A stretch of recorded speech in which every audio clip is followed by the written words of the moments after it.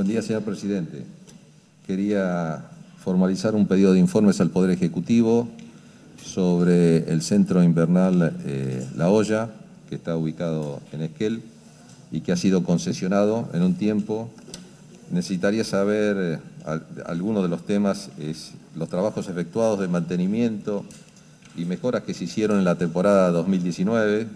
Como todos sabemos, hubo una avalancha y perjudicó también a las telesillas. Y si se han hecho eh, habitualmente el, personal que hacía el control de avalanchas, sí se hizo.